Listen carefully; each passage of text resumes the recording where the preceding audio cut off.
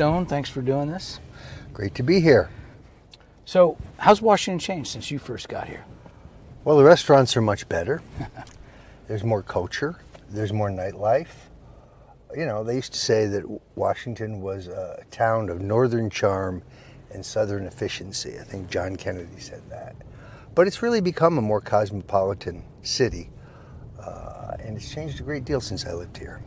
You know, I like good restaurants as well as the next man. It always had nice museums.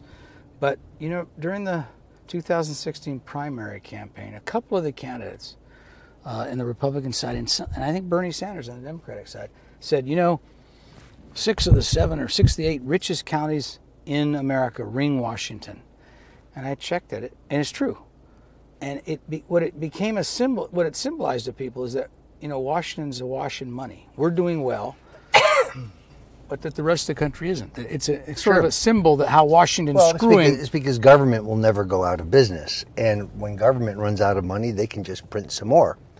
Uh, and uh, it is an oasis in the sense that it's a it's a, an elitist conclave where everybody, generally speaking, thinks one thing. You know, there's a, a conventional wisdom on most things. That it changes quickly. Don't get me wrong, but it, it is uh, it's very insular. Uh, the other thing here, of course, is in Washington, D.C., a lot of the people are really phony. If you want to find real people, go to Hollywood.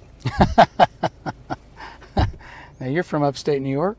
I'm actually from I'm actually from the uh, I grew up uh, on the Fairfield County Westchester County line Okay. in suburban New York, and I lived in both Connecticut as an infant, and then in New York on the New York side of the border um, when I was in high school.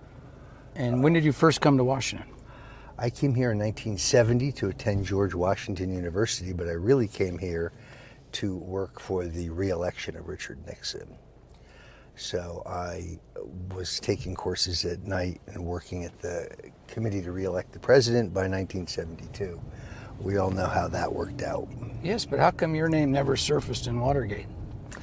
Well, it only surfaces in a very minor sense, and that was um, they came up, uh, my boss, whose name was Bart Porter, who was a deputy to Jeb Magruder, came up with this cockamamie idea that I should go to New Hampshire with this enormous jar of coins and contribute it to Pete McCloskey's campaign for president. He was a Republican congressman, was challenging Nixon, and that I should get a receipt in the name of the Young Socialist Alliance.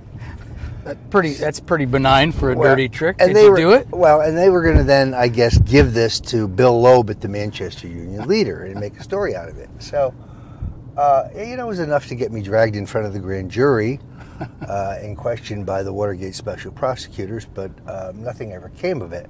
Also, Bill Loeb never wrote the story, so the whole thing was superfluous. Many years later, I fi- get this book by, uh, I it's by Jack Odes, which is a compendium of memos to and from Richard Nixon. And lo and behold, there's a memo from Pat Buchanan. This is his idea. He, he writes a memo to Haldeman saying, get some kid to go to New Hampshire. Well, I was that kid. I, I, my father wrote a book about McCloskey, that about called the McCloskey Challenge, about that, about that race. He Uh, was a very interesting guy, Pete McCloskey, Marine veteran. yeah, He beat Shirley Temple for Congress, yeah. The uh, child actress. He re- he represented that district. It was for a long time, a liberal Republican district, Silicon Valley, we call it now.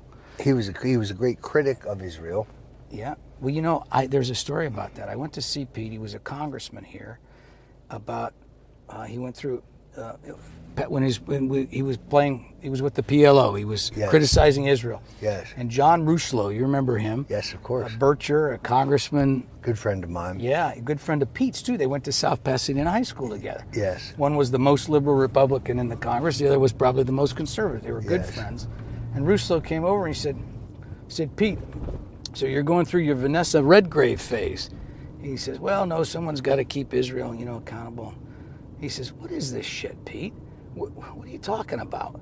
Uh, he said, well, you know, John, sometimes you got to show them you got balls.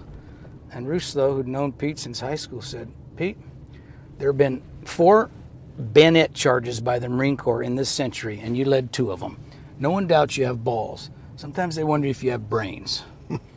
and the, and why I love Pete McCloskey so well, he told that story on himself to me. That's how I know it. Rousselot was uh, he was a great guy. He, I think he first got, came to the House in 1962. Then he lost his seat in 1964. Then he got it back in 1966. Uh, he was the most pragmatic bircher I ever knew. Yeah, he was. He was very funny too. Yes. He was. The, I think he's the one who. Remember in Sacramento, they, they John G. Schmitz and some of these guys were sitting around Frank Fats. They were wearing brown suits one day. Yes. And Rousselot came up and said to Schmitz, "John, I didn't know we were supposed to come in uniform." so self-deprecating humor. Yes. A lost art Yes. uh, in this town. Well, you saw a little bit of it at the Al Smith dinner. What was interesting was that they both had pretty good comic material You're talking about Trump and Hillary. Trump, Trump and Hillary. Yeah.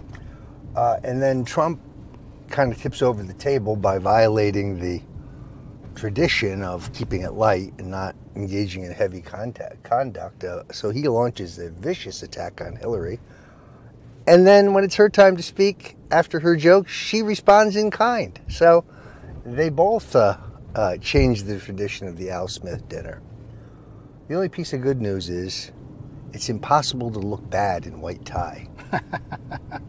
Um, do you still do your best dressed Oh, yes. list? Yeah, this will be the 11th year. Yeah.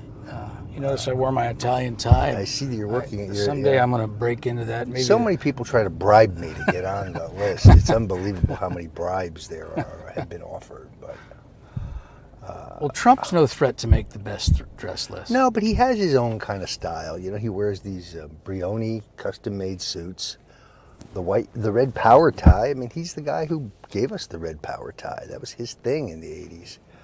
Uh, what he wears works really well for him. He's broad-shouldered.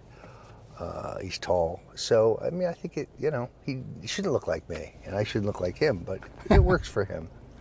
Um, You know, and the good news is that even though I think Jake Tapper has been quite biased in his reporting, he is going to stay on the best dress list for another year. So, Jake? yes, So we have a scoop. We do. Jake's a dresser.